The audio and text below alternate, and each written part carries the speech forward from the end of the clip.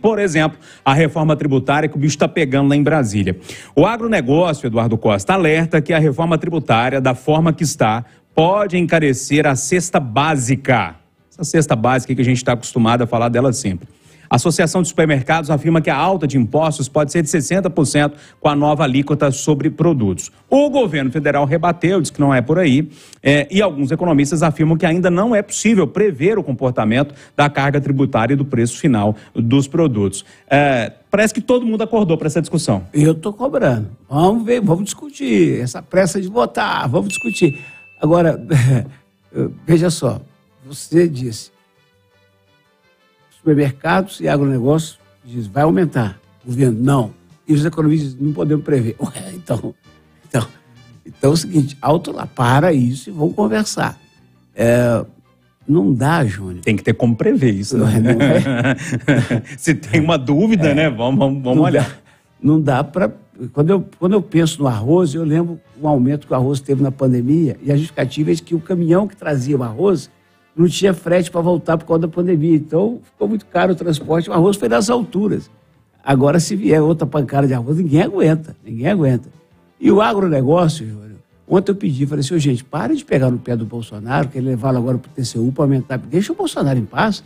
Ele já saiu do governo, hoje eu vou pedir, deixa o agronegócio em paz. Atenção, governos, não precise ajudar o agronegócio, o homem do campo, é só não atrapalhar. Da mesma forma, né? Só... Não atrapalha, é. não, gente.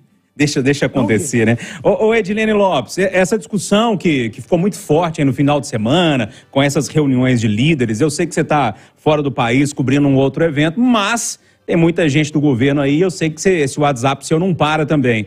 Como é que está essa, essa discussão em torno disso tudo aí, hein, Edilene?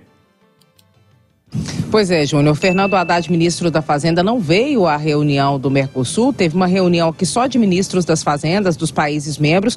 Não veio justamente porque ficou no Brasil para discutir tanto o arcabouço fiscal quanto a reforma tributária. O governo está confiante na aprovação nessa semana, na próxima, mas eu acredito que isso possa agarrar um pouco. Haddad acabou não vindo, já não viria, porque a mãe dele morreu, mas de toda forma não estava na programação de Fernando Haddad participar desse encontro aqui por causa desse debate intenso. Essa questão da reforma tributária tem um problema de timing, de tempo. Qual é a hora certa para se discutir e para se aprovar? O governo Bolsonaro deixou essa discussão para frente do segundo, é, segunda parte do mandato para lá, não conseguiu aprovar. Esse é o temor do governo Lula. Corre enquanto a situação está mais ou menos, consegue passar alguma coisa no Congresso Nacional, porque começa a segunda metade do mandato, a partir do segundo ano, do terceiro ano, como a atenção política para disputas presidenciais ficam mais intensas, fica difícil aprovar as propostas. E esse é um assunto que não pode ser discutido de forma tão assodada. Ele é muito complexo, não é uma, duas, três reuniões de governadores, de secretários da Fazenda, de deputados que vai resolver essa questão. Então o debate precisa ser intenso, tem que acomodar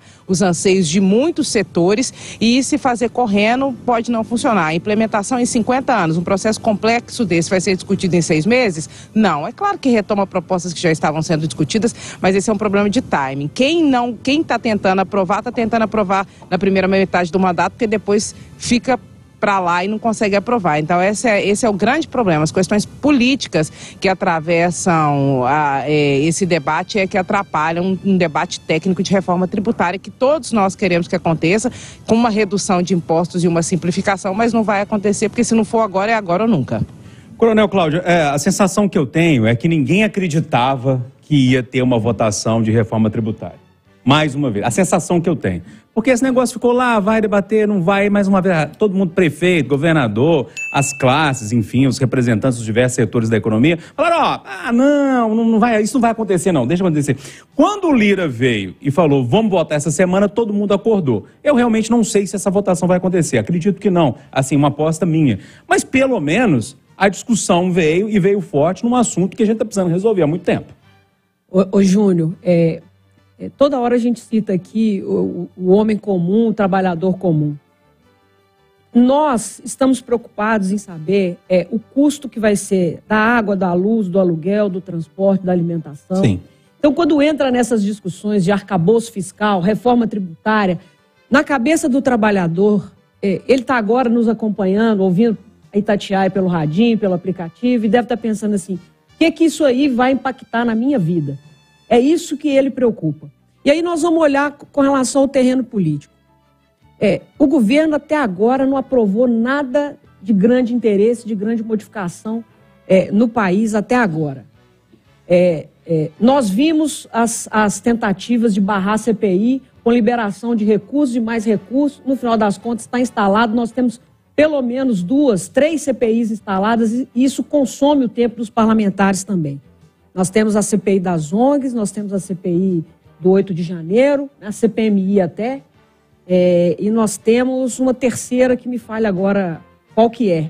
Mas. É, é, Outro dia nós contamos cinco CPI. Pois é, aí tá vendo? Até passou de é. três. Pa, pa, passaram aqui, a, a, a, conta passou de três.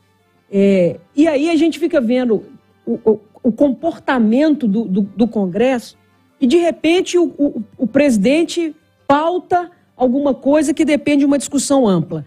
Ele já marcou uma reunião de líderes no domingo à noite. E aí a gente fica pensando assim, o que, que, esses, que estão tratando domingo à noite?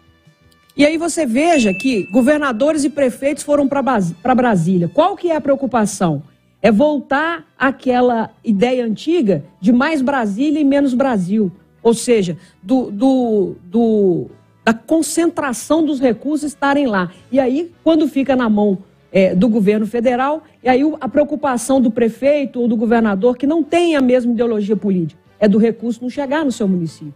E aí fica esse debate. O, o, o, o arcabouço fiscal, é, eu estava dando uma lida, ele tem por base é, é, o foco na arrecadação e apostando que essa arrecadação some, sobe.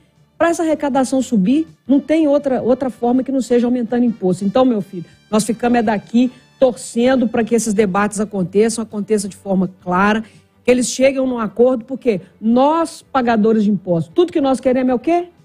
Menos impostos. Menos impostos também para aqueles que empreendem no país, para poder gerar mais riqueza, porque o Estado não gera riqueza nenhuma. Então vamos ficar aqui na torcida para que esse assunto seja debatido, e é como a Edilene falou, né? É, esse momento agora talvez fosse um momento melhor para esse debate, um debate amplo, um debate sério, um debate focado na melhoria da economia do país. É a nossa torcida. Vamos ver o que, é que eles vão fazer lá. É.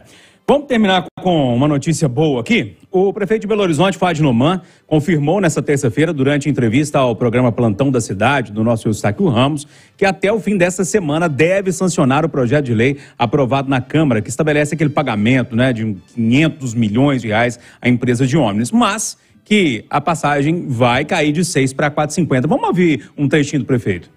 Quero que a passagem abaixe essa semana. Não quero deixar para depois, não.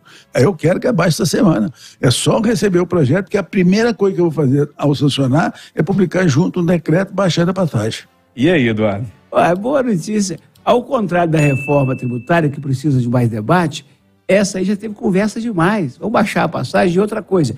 Imediatamente retomar o debate em termos de futuro. Como é que vai ficar ano que vem?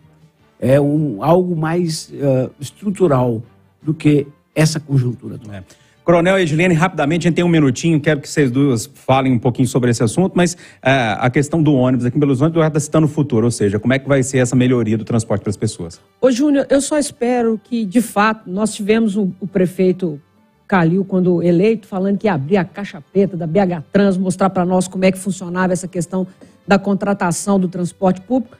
Quem sabe? Agora a gente vê, porque isso fica num, num, num vai e volta e o trabalhador aqui é que paga essa conta de, um, de uma passagem cara. E outra, nós vimos várias matérias aqui na Itatiaia falando de transporte público ruim na região metropolitana Sim. de Belo Horizonte. Então, é uma preocupação que a gente precisa estar atento a ela. Ô, ô Edilene, em 10 segundinhos aí para você não deixar de falar sobre esse assunto. Resolve o problema agora? Será que vai? Resolve o problema agora? Será que vai?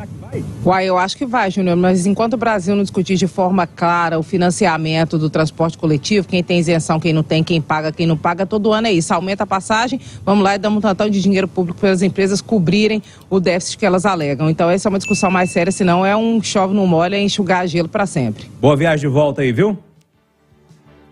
Obrigada, Júnior.